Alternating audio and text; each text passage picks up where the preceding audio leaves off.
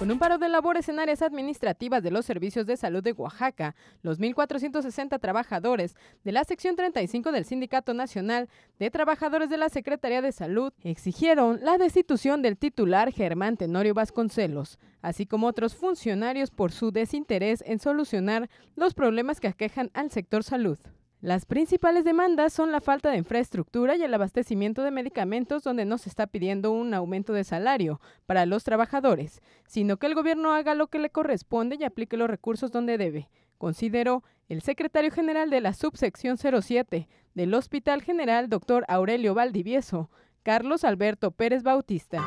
Por eso es la exigencia de que se construya este, en forma adecuada un hospital de 320 camas que pueda eh, eh, a solventar la atención a toda la población del estado de Oaxaca. Somos un hospital de referencia, aquí llegan los pacientes graves de todo el estado, todo lo que las unidades, los hospitales de la periferia no pueden eh, atender, se vienen aquí al Hospital Aurelio Valdivieso.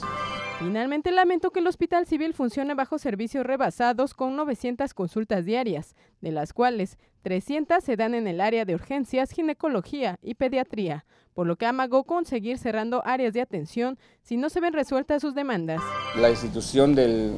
del doctor Germán de Jesús Tenorio Vasconcelos, secretario de Salud,